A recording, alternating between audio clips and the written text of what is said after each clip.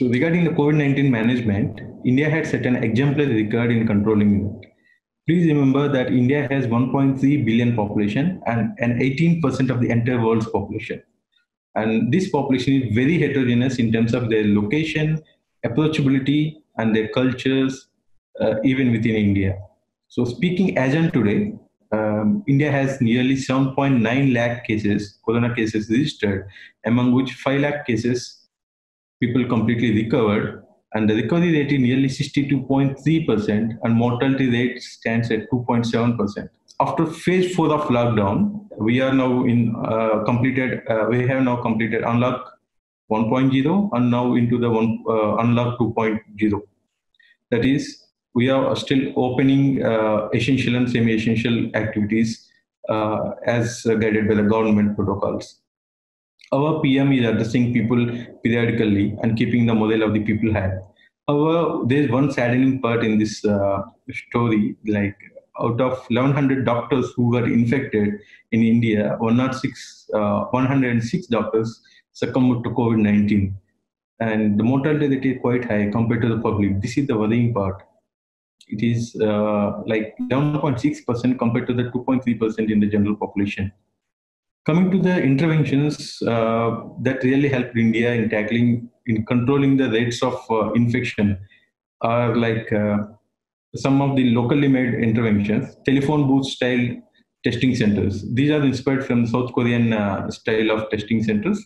And there are some competitions held by various state governments, that is stay-at-home competitions and the community kitchens. These are some of them. The entire country now following mask compulsory protocols and sanitization whenever it is necessary. So India has announced lockdown when there are only 550 cases in the entire country. So it is very preemptive act, and uh, uh, we have not waited for the COVID-19 to take a very aggressive course in the country. But there are certain uh, definitely setbacks in India is that we have very poor health infrastructure. In cities, it is really good, but in the rural areas and semi-urban areas, the infrastructure particularly the government setup, they are very poor. But tackling this COVID-19, the infrastructure is developed in unprecedented way.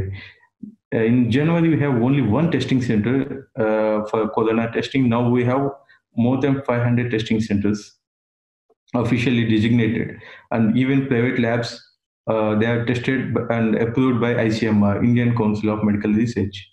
And uh, uh, when there are only few hospitals in March uh, 2020, now we have more than 1,000 COVID hospitals across the country for tackling COVID patients.